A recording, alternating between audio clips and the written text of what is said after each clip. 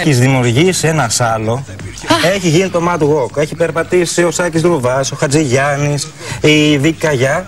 Ναι, Και όλοι έχουν επικεντρωθεί στη δική σου πασαρέλα. μάλιστα. Πες μου, σε παρακαλώ, πώς ξεκίνησε αυτή η συνεργασία με τη Σίλια Εκτοθαριώτη.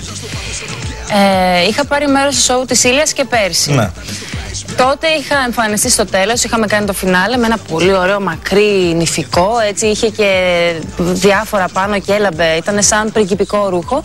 Και πάμε φέτος και μου λέει η Σίλια, λοιπόν, να κάνουμε κάτι καλύτερο από το περσινό, αποκλείεται.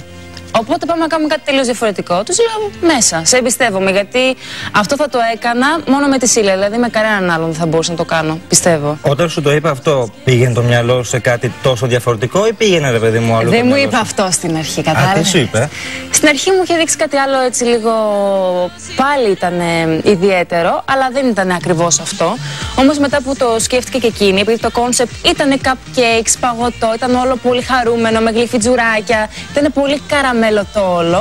Μου λέει λοιπόν: Έχω μια καλύτερη ιδέα, εφόσον εσύ θα το ανοίξεις το show και θα είσαι η μούσα, ας πούμε, αυτού του show, να βγεις με δύο cupcakes και με μια ροζ φούστα που θα είναι σαν να είναι το μαλλί της γριάς. Είχα, κάποιες έτσι, είχα κάποιους προβληματισμούς, αλλά μετά αφού κάναμε το fitting σε αυτό το ρούχο, Και δεν πήρε και πολύ ώρα, φαντάζομαι. το Φαντάζομαι φοιτή. πως όχι. Εντάξει, έπρεπε να βρούμε μερικές λεπτομέρειες, να δούμε πώς δεν θα έχουμε κανένα ατύχημα. Φαντάζομαι καταλαβαίνεις σε τι αναφέρομαι. Ε, μ, εντάξει, πίστηκα και έχω εμπιστοσύνη στη Σίλα. Τώρα, αν θες να το αναλύσουμε παραπάνω, θα με πιάσουν οι ντροπές. Γιατί εκεί ήταν το Mad Walk που ήταν όλο το κλίμα έτσι. Οπότε είχα μπει και εγώ μέσα σε αυτό το κόνσεπτ. Εσύ το, το διασκέδασες αυτό; Δεν μπορούσα να το καταλάβω πάρα πολύ γιατί στο backstage κυκλοφορούσα συνέχεια με μια ρομπίτσα από πάνω. Οπότε δεν με πολύ έβλεπα κιόλας.